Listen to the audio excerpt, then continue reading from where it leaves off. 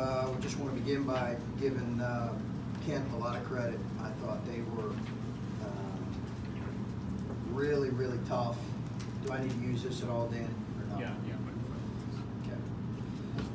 Okay. And this, right, Dan? Can't. Um, I thought they were really, really tough and really physical, and I think we expected that. I don't know, we tried to prepare our guys for this, but I, I don't know that we expected it to be quite as fit. It's the most physical game we played in all. Uh, this in Cincinnati.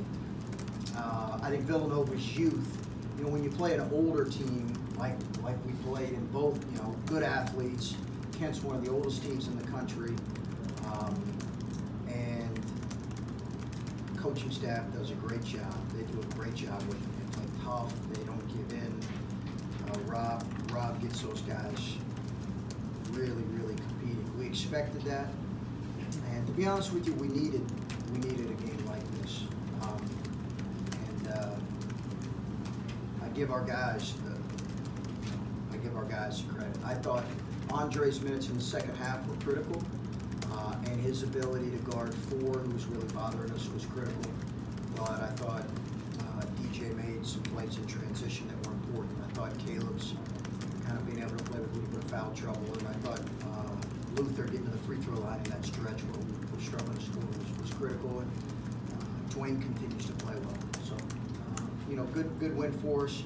We need to play better. Uh, we need to coach better, and we need to eliminate some of this um, poor plays we had.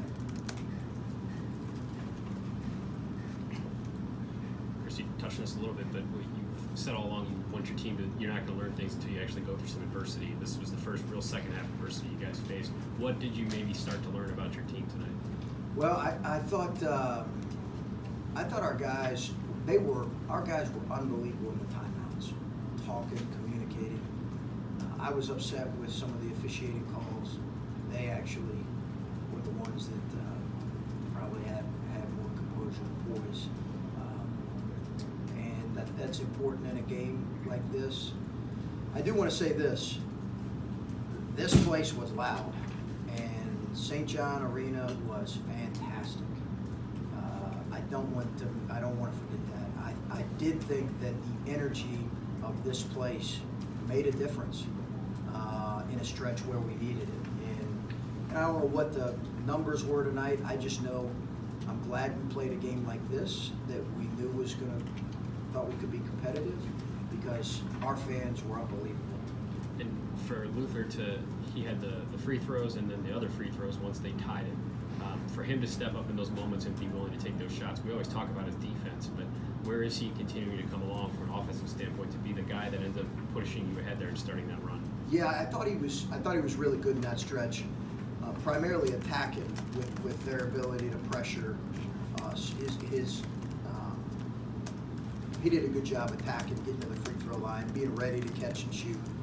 Um, I thought a couple times, in the, once in the first half, he took a, we took a lot of first side shots that were not great in the first half. Um, I thought we were a little antsy uh, in the first half and not nearly patient enough. Um, and something we've got to continue to work on because that'll, that'll get us um, if we don't get better in that area. You guys were up by as many as 17 and they came back to tie it. What was the biggest reason you guys were able to overcome that run and kind of put away after that? I, I think our players, um, we got we got critical stops when we needed to. Stops and first time rebounds. I thought that was uh, the difference in that stretch, and then getting to the free throw line like we did. And then uh, Kyle Young wasn't huge in the stats column, but he drew a foul early on the big man, offensive foul. He got that rebound going out of bounds. In this kind of game, how, how big is his play? Good. It was good again. I thought he um, he got a shot blocked a few times. He, he played against a guy tonight that, that we're going to see in the Big Ten a lot. Length. That kid's a really good player. Pippen's a really good player, and um, that's where we've seen this, right? Kyle at times can struggle scoring over that kind of length and size, um, and he struggled a little bit with that tonight. Uh, but his effort was really good in critical moments. What was some of the offseason conversations after season with Duane and his shot selection? A lot of film, a lot of video. It's not a finished. Um, he's, he's not a finished product by any stretch when it comes to that. Neither is Luther. Both guys um, have to become more efficient. Um, I do think probably consistent minutes has calmed Duane down a little bit when it comes to, um, you know, his, his thirst coming into the game, wanting points. Um, And that comes with a little bit of maturity. Uh, But his ability to drive the ball tonight, get to the, get to the rim, uh, was critical for us. He, he obviously, he's not gonna shoot sixty percent from three pointer right now all season long, but are you happy with like the looks he's getting? What Yes. Uh, for the most part, he, you know, a guy like that's always a difficult guy to coach at times. I Love coaching. He's a tremendous kid. I Love coaching. What I'm saying is finding that balance between efficiency and giving him freedom to be who he is.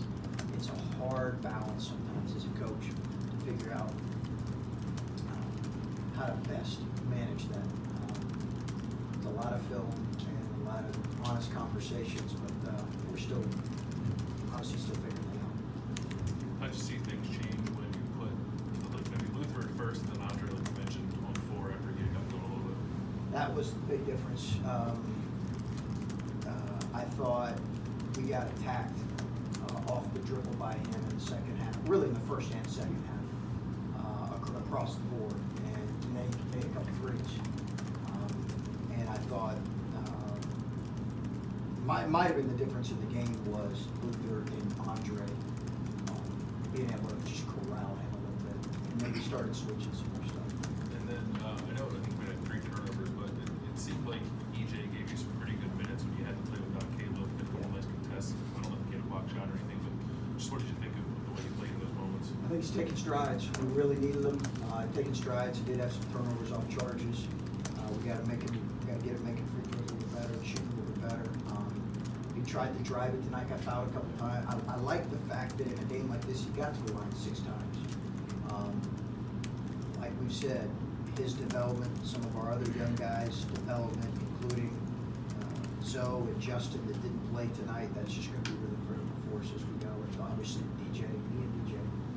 Had seven fast break points, but it seemed like you guys were pushing the ball just about possession. How are you balancing the getting the ball out in transition and also being able to just let your half court if you want to? Yeah, I thought we were too rushed tonight when we didn't have anything in our transition, and um, I just thought we were a little too rushed. We scored off a few of their turnovers, but we didn't score a whole lot off of defensive rebounds. Um, And then I thought we were a little bit impatient, and that's, that's my fault. We've got, we've got to get better at that. Are a couple teams coming up on the schedule that might want to get on track with you guys. Um, kind of wary of that, knowing that you can push the ball sometimes against against uh, a team like Kent State, but coming up on the schedule, you might not be able to do that too much. You might have to execute court a little more. Yeah, I think we're, I think we're gonna have to get better at that for sure. Um, Executing in the half court and also understanding how, uh, having a better understanding of how we want to play in the half court, uh, in terms of making teams, uh, defend us. We, we gotta get better that. Coach, uh, how important is it to get into another kind of rock fight? You know, at this point in the season, you know, you guys are what now six games in. Seems like your two toughest opponents have been from in-state rivals, but still, you know, to get a game like this uh, from especially you know a MAC team in Kent State, how important is it for your guys and their growth and development? Well, the MAC's had a pretty good start to the year. Toledo almost beat Notre Dame, and uh, Bowling Green beat Cincinnati last night. Akron uh, got it, kept it close there. Uh, so uh, you're playing a team like this that has good players, that has older guys, that I think is going to win. I don't. Seems like Rob every year wins about 18 to 22 or 23 games. It was good for us. We needed it. Um, it was physical. We needed that. Um, and we now need to take and learn how to be better um, in this area. Okay. Just a couple more. Couple more. Can I ask you about the suit? When we Yeah. decide to wear it again, and we dust it off for more big games going forward? Um, if it was up to my wife, I'd wear it every game. Uh, she loves it, and uh, but yeah, you know, I love playing games in this place. I like the throwback uniforms. This is my attempt at a throwback look, as bad as it is. Um, so I think I'm going to save it for St. St. John every year, and uh, uh, you know, it's kind of fun, fun doing it. Players talk about your drip at all? No, no, I think they're, they're, they're used to it. The players talked about what uniforms they were gonna wear. We had a conversation about what we're gonna use the gray, wear the throwback grays or the throwback scarlet, so they're, they're more concerned about that. I did have CJ uh, Walker come up to me right before the game, because it's the first time I guess he saw it. He goes, that's a nice, coach. That means something to the players, says that. I was gonna ask about, um, it was an emotional game there in the second half, and it sort of reminded me last year of when you guys were in Ann Arbor and you sort of went the wrong way when emotions sort of got out of control. This, Yeah. this year, it's, it, it obviously went your way at the end. What do, you- what do you think you learned about your team and how you dealt with that, that stretch? I think we probably all have to be a little bit better with that, uh, uh, starting with me. I was frustrated with some of the officiating calls um, uh, on Kaleb.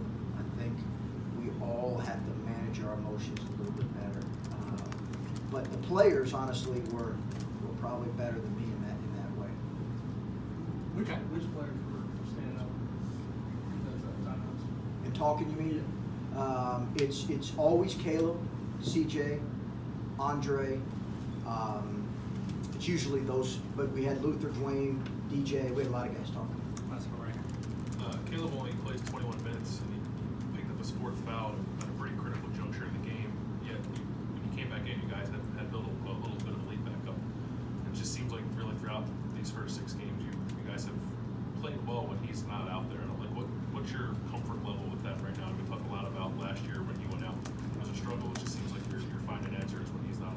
Well, I think that's, that, that's maybe as big a question about our group as any. How, how do we play for long stretches without, without him? That's maybe as big, and, and particularly, how do we, how do we score and rebound, uh, without him? And I think that's where other guys have to continue to get better, because you ask Kent right now, who are you game planning for to stop? It's always gonna begin with Kaleb, and, uh, that's when we can have other guys, we've got to find ways to, to, score in other ways. Do you feel good about that? Uh, or I don't know if you can feel good about It's a it. work in progress. I think that's very much a work in progress, uh, ve- very much. Um, Can we do that consistently? Uh, I think it's, it's a question for you. Thank you, guys. Thanks, Thank Happy. Thanksgiving. Yeah.